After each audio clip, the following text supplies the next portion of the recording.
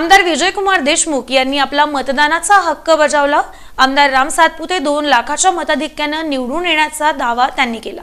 सोलापूर लोकसभा मतदारसंघात महायुतीकडून आमदार राम सातपुते तर काँग्रेस मित्रपक्षाकडून आमदार प्रणिती शिंदे यांच्यात प्रचारादरम्यान चुरस पाहायला मिळाली. मंगळवारी मतदानाच्या दिवशी माजी केंद्रीय गृहमंत्री सुशील कुमार शिंदे आमदार प्रणिती शिंदे उज्ज्वलाताई शिंदे भाजपचे आमदार सुभाष देशमुख यांनी मतदान केलं.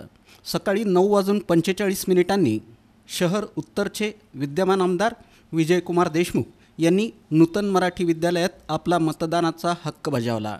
सोलापूर लोकसभेच्या मतदानाची सुरुवात झाली. उन्हाचं तापमान वाढत असताना मतदानासाठी मतदान केंद्रात रांगा लागल्याचं पाहायला मिळालं. भाजपला मोठ्या प्रमाणात विजय मिळेल दहा वर्षात भाजपनं केलेली कामं पाहता जनता भाजपच्या बाजूनं झुकताना पाहायला मिळत आहे. दोन लाखांच्या लीडनं सोलापुरातील भाजपची सीट निवडून येईल असा विश्वास भाजपचे आमदार विजयकुमार देशमुख यांनी व्यक्त केला.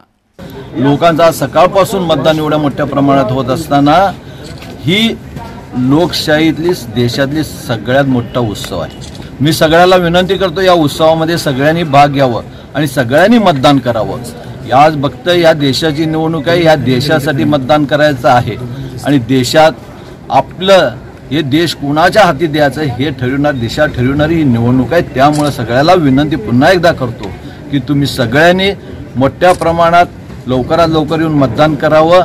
मला असं वाटतं की हे ओघ बघितलं असताना आज सकाळपासून भारतीय जनता पक्षाच्याकडे हे कल फार मोठ्या प्रमाणात आहे. या देशाचे ज्यांनी या दहा वर्ष कारभार सर्वा सांभाळला त्याची ही पावती आहे. त्यामुळे लोक सकाळीपासूनच ह्या प्रत्येक बूथवर लाईन लावलेले आहेत.